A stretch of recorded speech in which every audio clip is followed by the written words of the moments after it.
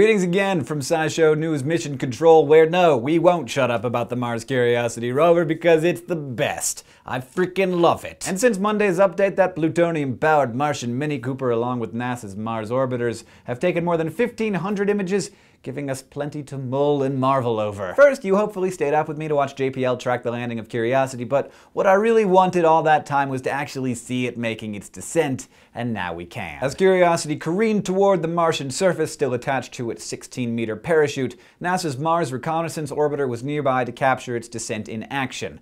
On Monday night, NASA released this amazing photograph taken by the orbiter's HiRISE camera from 340 kilometers away. And as if Curiosity's flawless, beautifully orchestrated landing wasn't enough to prove how totally on the ball NASA's engineers are, they programmed the HiRISE to take this image three days before the actual event. If either craft had been one second too early or too late, HiRISE scientist Sarah Milkovich said we would be looking at an empty Martian landscape in this picture. Plus, here's some new math to show you how perfectly NASA and JPL stuck this landing.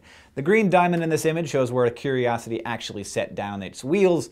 The target for the landing was the center of the blue ellipse, so the craft landed only two kilometers from its target. Two frickin' kilometers! The average distance between the Earth and Mars is 225 million kilometers which means the deviation from Curiosity's landing target was an infinitesimally small fraction of the total distance traveled. It's so small that I can't remember the number of zeros that go before it, so I'm just gonna put it on the screen. Since making this amazing landing, Curiosity has been giving us a good feel for the lay of the Martian land. Late Monday, it began sending back images of its surroundings, including the first picture of its scientific target, the five and a half kilometer high Mount Sharp. Engineers aim to drive Curiosity to the base of the mountain to study its lower layers, which hold important clues to Mars's geological past. But first, our intrepid friend is going to spend a month going through what's called the characterization activity phase, which it'll spend deploying and testing instruments and getting a feel for how they work in the Martian environment. This started yesterday with the deployment of Curiosity's high-gain antenna, which it'll use to relay data back to Earth by bouncing them off the orbiters, and it also began taking its first measurements of radiation levels, wind speed, and temperature in Gale Crater. Today, engineers are redirecting the antenna to get a clearer signal, and will also deploy the remote sensing mask,